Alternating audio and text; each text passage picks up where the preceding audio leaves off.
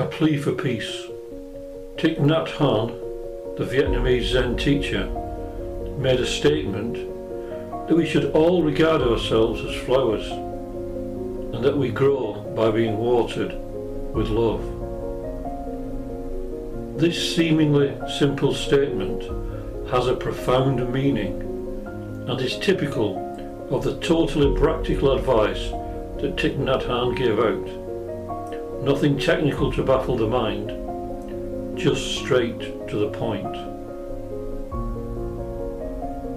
To my mind, the priority in this world is for us all to find ways to live together in peace and harmony. Otherwise, everything else counts for nothing.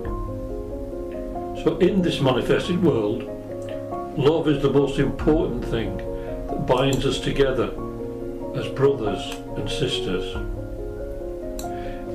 It is lack of love that gives rise to violence and to anti-social behaviour.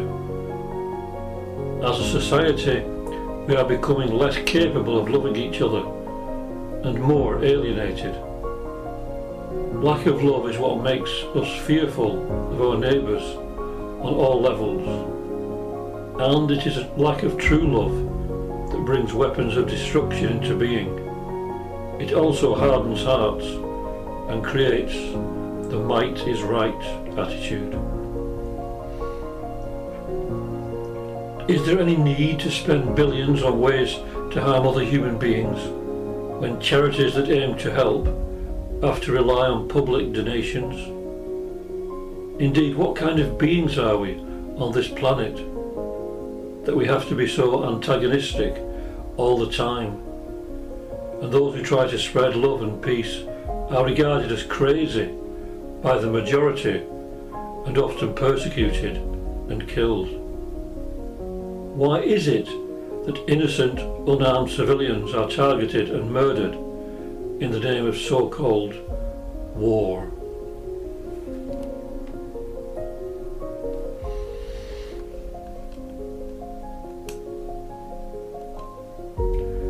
What is wrong with us that we answer violence with violence and so it is only escalating? In such cases, Someone needs to break the circle to end the cycle. If I have to repeat it a hundred times, the reality is, as the Buddha said, hatred does not cease by hatred. Hatred only ceases by love. So violence will not cease by violence. Only love will end it. That makes sense, but is generally overlooked. Jesus told us to love our enemies, but his words are not good enough in so-called Christian countries. Every person has a unique story. They came into this world, passed through childhood, went to school, started work, fell in love, married, had children of their own, nurtured dreams and aspirations. Then they became victims of a war in which they had no interest or involvement. Spiritually we grow through love. There is no other way. And the fact that love is ignored, sentimentalized or sensualized takes us further away from understanding what it really is. At the heart of the universe is harmony. And this is manifested in nature. If you look at flocks of birds or shoals of fish, they all move in perfect harmony and never bump into each other as we do as human beings. We crash into each other physically, mentally and emotionally. In some ways, self-consciousness is a blessing, but it can be a curse if not employed correctly. The lower aspects of our mind create separation and distort the harmony that is at the centre of our being. That is why we have to stabilise and purify our minds through our meditations and studies. Every human being has the same spirit animating them, but the clouds of our own making obscure its light from shining within us, and radiating outwards into the world. Whether we call it Christ consciousness, Buddha nature, Krishna consciousness, or by any other name, it is the same. And arguing over concepts and ideas is hindering our awakening to our true nature. Yet people are so wrapped up in delusional thought that they will fight and even kill because of misunderstandings of what the great world's teachers wanted to tell us. It is because these people could not live up to these ideals that they twisted them to fit in with their limited views and made them justify their bigotry and anger towards anyone who did not agree with their fractured vision of life. No one who truly follows the teachings of Jesus or the Buddha could ever entertain the use of violence. The fact is that most people have drifted away from any real belief in their religions and give just lip service to what is written in their scriptures.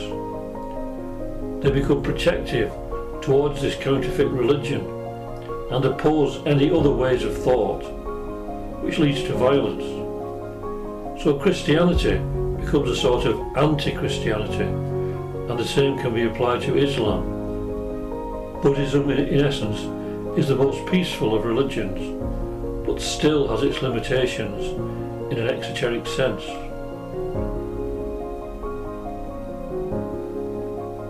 Of course, there are practitioners of all these religions who have realized the more esoteric side to the teachings.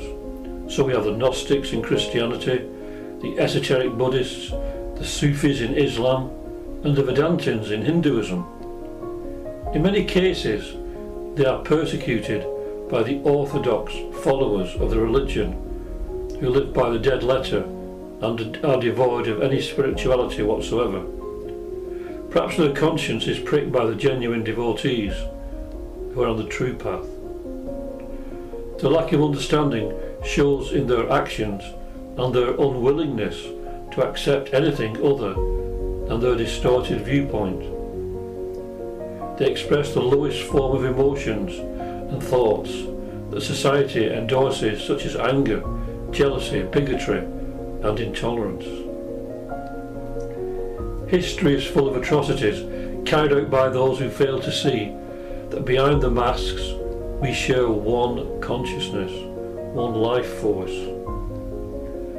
one spirit.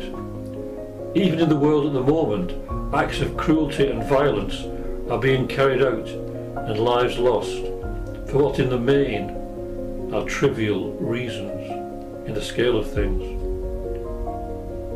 So think of Thich Nhat Hanh's words if we imagine the world as a garden and everyone as flowers in that garden, then we know that to make them blossom and grow they need love, as plants need water. We understand how tenderly a gardener treats his flowers, how he nurtures them, protects them, and takes pride in how beautiful they become because of that care. If we could only learn to see each other in that way, see in another human being the potential beauty that can be called forth if we can only help them see their true nature. If we see it in ourselves, we can then begin to look for it in others too. As soon as one becomes aware that they are more than the world would have us believe that they are, then they are on the path and are beginning to blossom forth. The Zen saying is, no mud, no lotus. So we have to use life experiences, seemingly good or bad, to help us on our way. It's all a matter of having the right attitude to life and its ups and downs, and growing in the light of the spiritual sun that is shining in each one of us behind our often misty minds. More misty than mystic, it would seem. How we love seeing flowers. We enjoy walking in gardens or visiting flower shows or having flowers around the house, as well as cultivating our own outside. Flowers have so much symbology attached to them and many have beautiful scents that we use in perfumes, air fresheners, etc. We use them and their scents to beautify the world.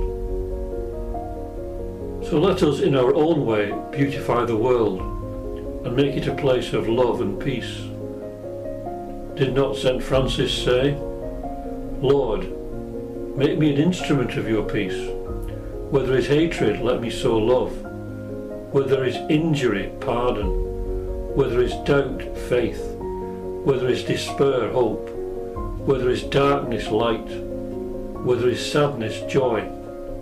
O Divine Master, grant that I may not so much seek to be consoled as to console, to be understood as to understand, to be loved as to love. For it is in giving that we receive, it is in pardoning that we are pardoned, and it is in dying that we are born to eternal life. So our Master can be said to be our divine nature, or our higher self, the spirit within.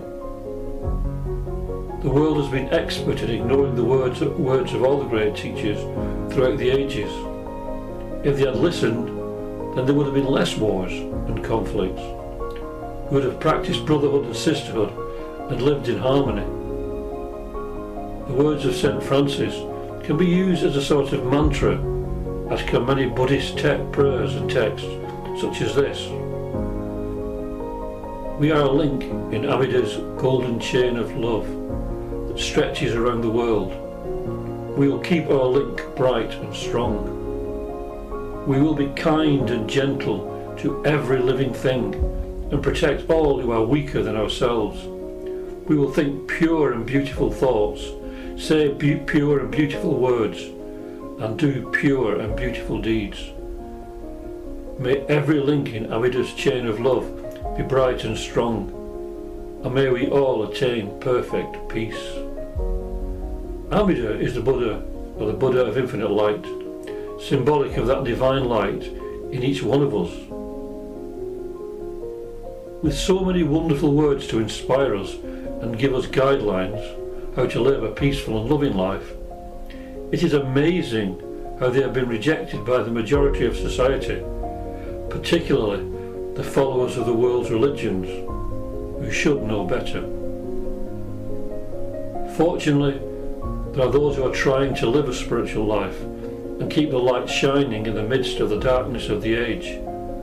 It is no small thing that these individuals and organisations are doing this, tending the sacred flame, until the day when the world at large realises the insanity of wars fought for trivialities, and that human life should be respected, and the only thing that we should be trying to cultivate is a universal brotherhood, regardless of race, creed, sex, caste or colour. Om Shanti, Shanti, Shanti, peace, peace, peace. Peace on earth and goodwill to all beings.